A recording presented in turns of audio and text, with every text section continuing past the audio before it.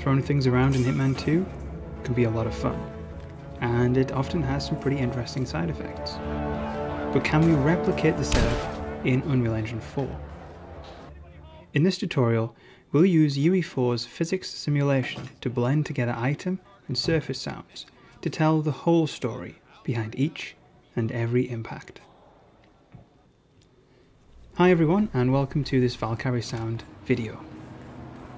The approach in Hitman 2 was to combine layers of sound so that the sound of footsteps wasn't simply grass or concrete but also included the sounds of Agent 47's footwear, with volumes adjusted to reflect the sonic absorbency of the surfaces he was walking on. This philosophy was applied to physics items as well, so that the sound of a crowbar changed if it struck stone, wood, glass, or someone's head. Whoa, For this video, I set out four goals. Number one, blend impact sounds depending on the force of the impact.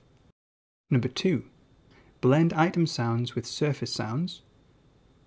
Number three, prevent low value sounds from triggering, such as when physics items are settling. And number four, prevent weird physics behavior when the player steps on items. I've taken the physics system developed by renowned sound designers Dave Raybould and Richard Stevens and used it as a springboard to meet these goals. You can find their setup as part of Epic's online learning challenge.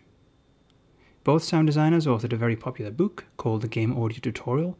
You can take part in Epic's learning challenge, and out of the five lessons available, two of them cover sound, which is really good to see and you should definitely go and check them out.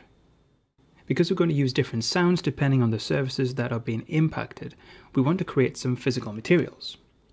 In the project settings of your project, if you go to physics and then scroll down to the physical surface section, you'll see that I've entered three different types of surface in here. I've got concrete, cube, and pliers. Once you've entered in your physical surfaces, go back to the content browser, right click, physics, physical material, and then physical material again. That will bring up something like this, which I've named PM for physical material, concrete, cube, pliers. And the bottom section here is make sure that matches with that item from your project settings list. Next we'll create an actor blueprint, and to this I've added a pliers static mesh, which I've subsequently changed for a hammer for some reason. If we just expand the details panel a little bit here, you can see that I've ticked the simulate physics box and I've set the mass for this object to 3 kilos. We scroll further down, under collision, we've got simulation generate hit events ticked. The collision preset is a physics actor, and the material override is set as pliers. So if another item, the same type of item, falls under this item, this is the physical material it's going to access. And if we go into the event graph, we've got an event hit here, and we're going to use the normal impulse. This returns the velocity of the hit event. From that, we're adding a vector length node, which gives us the strength of the impulse as a single float. We're routing that into a greater than node, which will hook up to a branch node. That stops sounds from triggering if the impulse is too small. And from my testing for this particular item with its weight, 100 is a good value here. From the branch node, we're going to add a do once node, where the true output of the branch is going to go to the exec pin, and the false output is going to go to the reset pin. As you can see here from the little note, that basically means that we won't be able to generate another sound until a smaller impulse has been generated by the item, and that then goes to a sequence node. Going back to the event hit node, we're going to break the hit result, and we're going to get the phys mat, or physical material. I've created a map variable with physical material as the key and sound cue as the value. I've added our three physical materials on the left with their corresponding sound cues listed here on the right. I'm just using placeholder sounds for this example. I am finding the physical material in this map and that gets me the corresponding audio which I'm then routing over here to set a new variable, a sound cue object variable as the physical material sound. I'm also peeling off from the physical material here, and I'm getting that and setting that as a value here as well. Also from the vector length, we're going to add a normalized to range node, we've got a minimum value there of 0 and a maximum range of 2000. I know roughly that when I'm creating impulses from every hit event, that 2000 is roughly the maximum value that I'll get for a large drop or a large hit. What this node does is it converts any value in that range to a value between 0 and 1, which we can then use to update the volume for each of the sounds we're generating. To do that, I'm storing this as a value I've called force, which is just a float variable in the blueprint. And as you can see, I'm also pulling off from the event hit the hit location, which I'm then updating a vector variable as the location as well. Now to stop a player from experiencing weird effects when physics items are walked over, we're going to add a branch node here to the second part of this sequence node. And we're going to hook that up to the blocking hit of the break hit result from our event hit. If it's true, we're going to set collision response to channel the target here is our static mesh. The channel is pawn. And the new response is ignore. This prevents physics interaction with the player only after the item has registered at least one blocking hit with anything in the game, including the player. We now have three sections for our sounds, light, medium, and heavy. At the core of each one is the play sound at location node. We've got a sound selected from the drop down, it's just a placeholder sound that's pitched higher or lower, uh, just depending on whether or not it represents a light sound or a heavy impact sound. We're plugging location into location, and here we have the volume multiplier section. Now the core part here is the get vector value node. This is using our force amount to call a value from a vector curve. To add this curve in, we're going to add a variable, call it what you like, in the details panel here, I'm going to type in vector curve and it's the object reference that you want for that. To create this curve in the content browser, right click, miscellaneous, and then curve. And for this, I'm using the vector curve. That gives me three channels to use. If you wanted an extra layer to your sound, you could use the curve linear color which gives you RGB and A as alpha channel, but you could use that to generate four float values instead, if you wanted a shimmering sound or the sound of air as the object moves through the air. And this is what the vector curve looks like. So here, for the X line, we have our light impact sounds. For the Y, we have our medium impact sounds, and then for the Z, the blue one, we have our heavy impact sounds.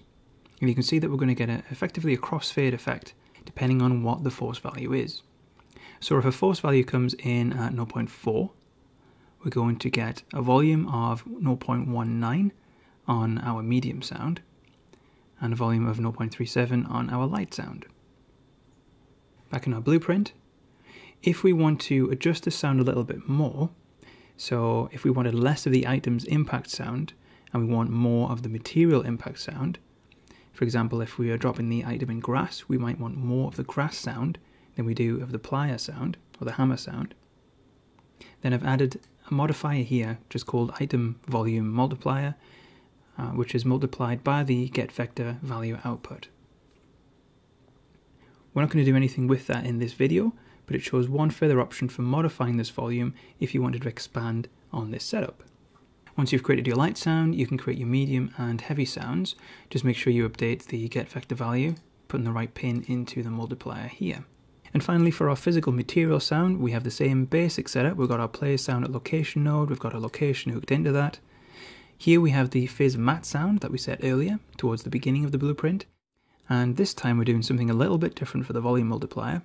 I've created another map, and in this map we have our three sounds, and here we have corresponding volumes for each of those physical material types.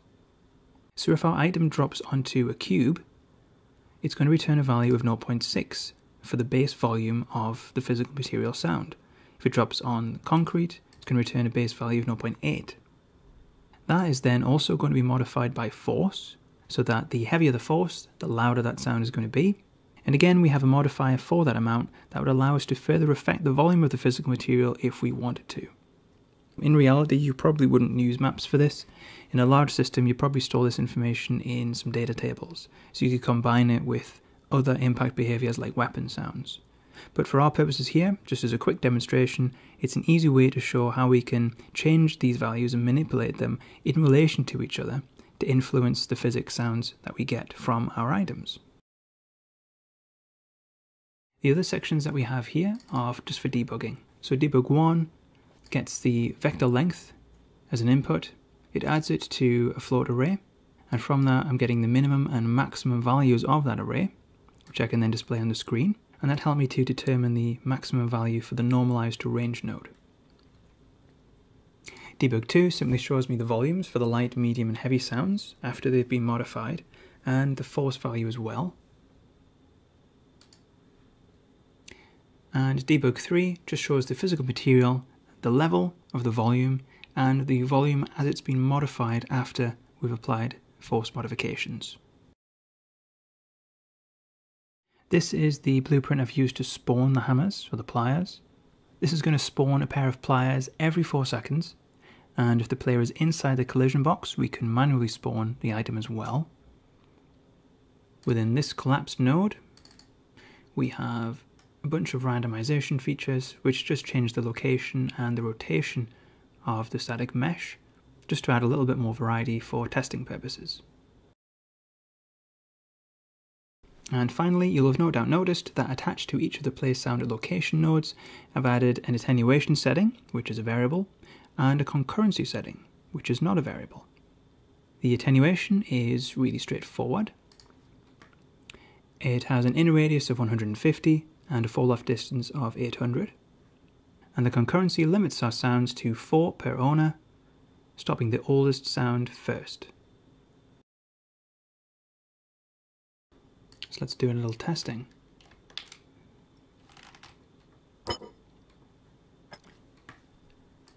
We pause it here, what we can have a look at on the output log, because of those debug sections I have set up. The initial impulse was 3376, and here we can see we've got the volumes for the light, medium and heavy, so this is totally a heavy sound. We can see the force value here, and here we can see that was the PM cube material that it landed on. That's its base level of 0.6, and this is what it was modified to once the force had been multiplied by it. Here we have the subsequent sounds as well. Here is the next hit at 556. This one, more of the light sound that's in now, not terribly loud. It hit the concrete that time, 0.8, and this was the modified value based on the force. What if you change this around a little bit? What if we say that we don't want any of the item sound? We just want the material sound. Let's modify that by setting the item volume to zero. And we'll leave our material volume at one. Now, when we come to play,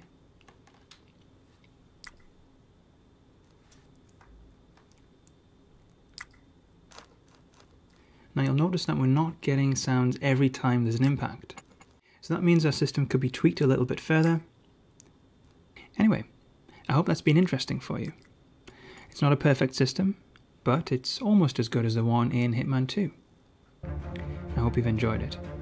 Take care, enjoy making your own projects, and as always, thanks for watching.